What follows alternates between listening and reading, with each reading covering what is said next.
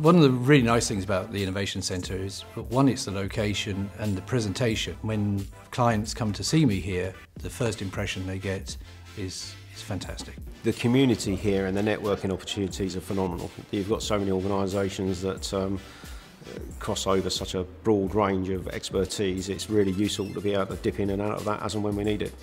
The main benefit of being here so far has been access to some fairly serious business support on the Fareham Innovation side.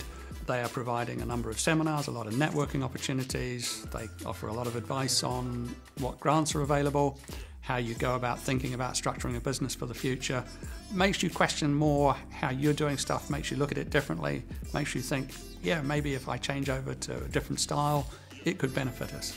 The Fareham Innovation Centre promotes collaboration, so we have shared offices, some shared kitchen facilities, and even that helps dramatically because when everyone's going for a coffee, um, you have the chance to communicate with people. And all the companies that come here really, in, really absorb that, that environment and that atmosphere.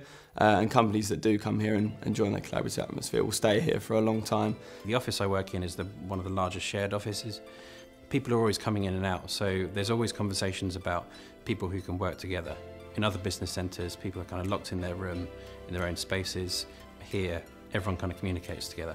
So one of the main benefits for us has been being so close to the airport. It means that as a flying school we can base our aircraft there and still operate from here whilst having the flexibility to move and expand as the business grows. You know, as I say, we started off very small, we've slowly pushed up and grown and again in the future we might grow, take on more office space and it's the, it's the flexibility as well. You know, you can take on an office which is more suited to sitting down and briefing rooms, that sort of thing, or a workshop which is more suited to physical tasks such as our simulators.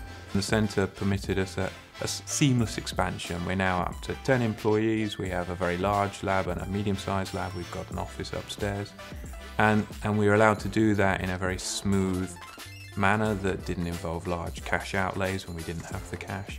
And so it allowed a very painless business expansion.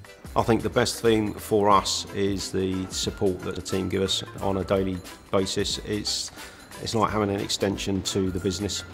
Um, and, and again, the superb facilities here, the second to none.